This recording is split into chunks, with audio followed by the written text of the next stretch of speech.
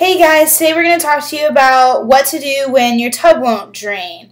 The first thing you want to do is go find yourself what's called a Zip It. And what you're going to do is take it out of the packaging and then stick it down your drain.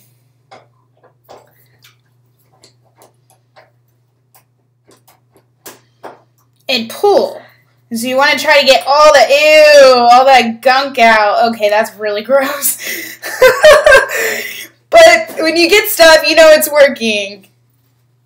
And then you take it off. And then you take it off and you continue until your tub starts to drain again.